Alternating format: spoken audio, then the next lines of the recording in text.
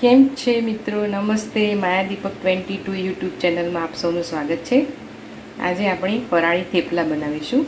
મેં એના માટે સાબુદાણા લીધેલા, અડધી વાટકી લીધેલા મેઝરમેન્ટની અને એને ચાર કલાક પલાળી દીધેલા પોણા ભાગનું પાણી નાખી અને એ ફૂલી ગયા છે તે એક વાટકીનું માપ થઈ ગયું છે. તો ટોટલ તમારે એક વાટકીનું માપ લેવાનું છે ફૂલેલા સાબુદાણા અને એમાં મેં છીણી બાફીને બટાકો છીણી લીધો છે.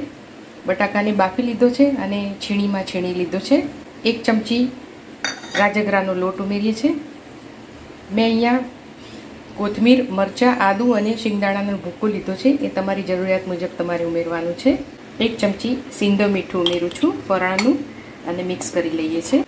આવું સરસ વણા એવું, થેપા એવું મિક્સ થઈ ગયું છે. તવી ઉપર ઘી લગાવી અને એને ગરમ કરીએ છીએ. તમારે જે સાઇઝના થેપલા ખાવા હોય એ પ્રમાણે લુવા વાળી લેવાના છે અને મેં અહીંયા ઓરસિયા ઉપર પ્લાસ્ટિક મૂક્યું છે, નીચે તેલ લગાવ્યું છે અને ઉપર આ લુવું મૂક્યું છે. આ સાઈડ પર પણ પ્લાસ્ટિકમાં તેલ લગાવ્યું છે, એટલે નીચેની સાઈડ અને અંદરની બીજી સાઈડ પણ તેલ લગાવવાનું છે. હવે આને વણવાના નથી, આ ખૂબ જ સોફ્ટ હોય છે, એટલે વણાશે નહીં તો આવી એક ડીશ લઈ અને એને ધીરે ધીરે પ્રેસ કરવાનું છે. તમે જોઈ શકો છો કે કેટલું સરસ વણવા કરતાં બી હાથથી સરસ થઈ જાય છે. તમે હાથથી બી થેપી શકો છો, પણ આ સરસ થઈ જાય છે. જોઈ શકો છો કે આ થેપલું તૈયાર થઈ ગયું છે. એને ખોલી લઈએ છીએ અને હાથ ઉપર લઈ અને તવીમાં આપણે ટ્રાન્સફર કરી દઈએ છીએ મેં એને આવી રીતે હાથ ઉપર લઈ લીધું છે અને હવે તવીમાં ધીરે રહીને આપણે મૂકી દઈએ છીએ અને એને ચડવા દઈએ છીએ એક રીત મેં બતાવી. હવે બીજી તમે આવી રીતે પ્લાસ્ટિક ઉપર મૂકી અને ફરીથી ઢાંકી અને હાથથી પણ આવી રીતે થેપી શકો છો. અને જરૂર પડે તો થોડું વેલણ પણ મારી શકો છો. અને બહુ સરસ થઈ જાય છે, કારણ કે આ ઢીલું હોય છે. હા થેપલું થઈ ગયું છે. તમે જોઈ શકો છો કે એકદમ સરસ થઈ ગયું છે.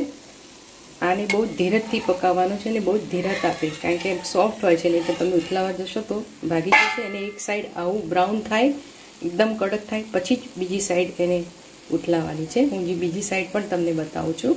બીજી સાઈડ પણ આટલી સરસ કડક થઈ ગઈ છે. તમારા તાવેતામાં સરસ રીતે ઉપડે ત્યારે સમજવું કે આ પાકા થઈ ગયા છે. કાચા તમે કાઢશો બ્રાઉન થયા વગર તો બધા ભાગવા મળશે જે લોકો તળેલું વડા કે એવું ખાવા માટે ના ઈચ્છતા હોય, એના માટે આ બહુ સરસ ઓપ્શન છે. આવી રીતે બીજા બધા ઉતારી લઈએ છીએ. આવી રીતે કાણાવાળા ઢાંકણામાં કાઢી લેવાના છે, જેથી વરાળ બધી નીકળી જાય અને સરસ રહે. મેં બીજું પણ ઉમેરી દીધું છે, એને પણ એકદમ ધીમા તાપે થોડુંક તેલ ઉમેરી અને થવા દઈએ છીએ તો મિત્રો, રેડી છે આપણા સાબુદાણા, બટાકાના પરોઠા અને ખૂબ જ હેલ્ધી રહે છે. અને ધીરા તાપે કરો તો બહુ સરસ થતા હોય છે. ઘણાને એમ થાય છે કે તૂટી ના જાય જો મેં હાથમાં લીધું પણ. આમ ફેરવું છું તો પણ તૂટતું નથી.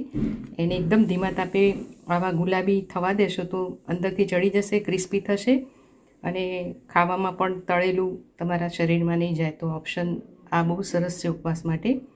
મિત્રો, તમે આ વીડિયો જોયો બદલ આપ સૌનો ખૂબ ખૂબ આભાર. ફરીથી મળીશું રેસીપીના એક નવતર પ્રયોગ સાથે.